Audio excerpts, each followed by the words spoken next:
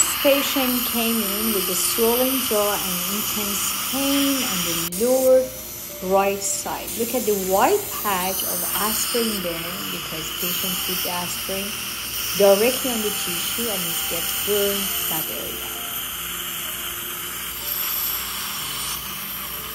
Area and for some reason she put some medication on the cheek area and you see that what happened. It's like a burning happening on the cheek and on the gum. Patient had severe pain since last night and for some reason put some medication on the cheek and on the gum and burned the gum and the cheek.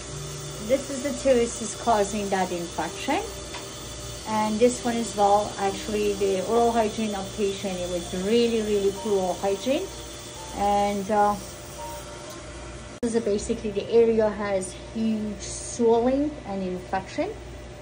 And you're going to remove this roots and we'll see if the patient is going to accept to remove that one as well because they're not working anymore. So we'll see